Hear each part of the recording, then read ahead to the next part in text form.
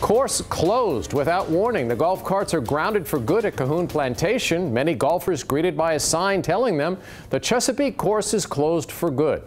It's not just golfers taken back by the sudden closure. Residents in the surrounding Eagle Point development are worried over what will happen to them next.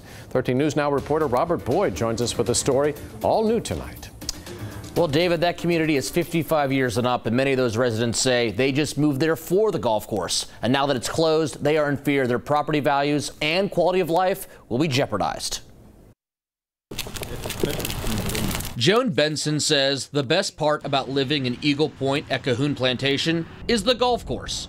And she doesn't even golf. We moved here because of the golf course, because we like uh, the openness, and if we had to give up a privacy of our backyard, that this gave us that sense of of uh, green and the water, and we walk a lot, and it's beautiful.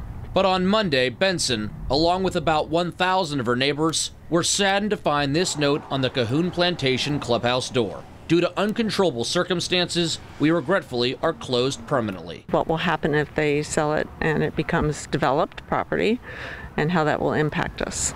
The golf course is privately owned, completely separate from the senior community, which leaves residents feeling helpless. We don't know anything more than you all know. Uh, it was a surprise to us, too. Sue Stanley is on the Eagle Point Board of Directors. She acknowledged golf course owner Wallace Cahoon has every right to sell the land to a developer. Residents are concerned their views of greens and fairways could be replaced by parking lots and office buildings. The people that are right on the golf course paid extra for their property, and so obviously that's a loss. While resident Wayne Parrish is curious what the course will look like if nothing happens. Growth of, of weeds and letting it go, and will uh, Wallace Cahoon keep it up? I don't know. Uh, I certainly hope so. Parrish says the majority of the community is holding out hope that whoever buys the land keeps it just like it is. It's a wonderful course. It's one of the best courses in uh, in, in Tidewater, and somebody who marketed it properly could uh, could make money off of it.